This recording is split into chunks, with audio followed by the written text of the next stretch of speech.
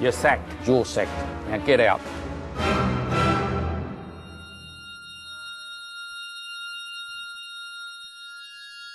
So, your big idea was a ginger beer stall.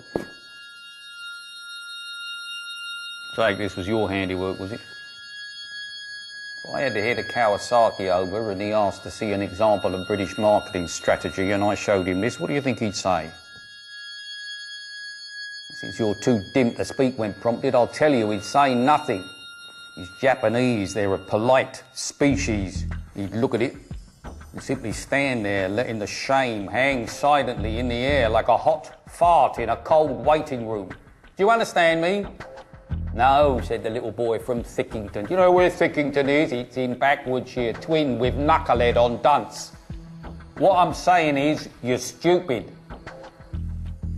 If you were beaming right now, I'd tell you to wipe it off your fat face, because even though he shat that out on his own volition, you're more to blame, if anything, for failing to intervene.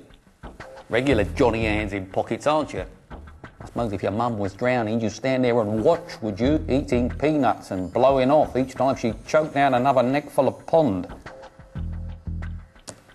Well, the rap was a load of toot. What's the toffee like? Tastes like something left in a kettle after the Dresden firebombing. Did you brew this or find it in a jar outside a Welsh clinic? Let the customer keep the cup, did you?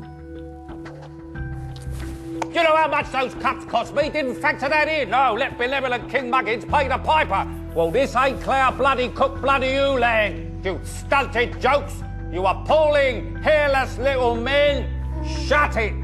Glue it shut, fold it over, roll it into a cone and work it up your dirt box. You're sacked.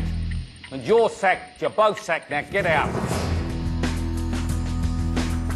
Send your parents in so I can have them both strangled.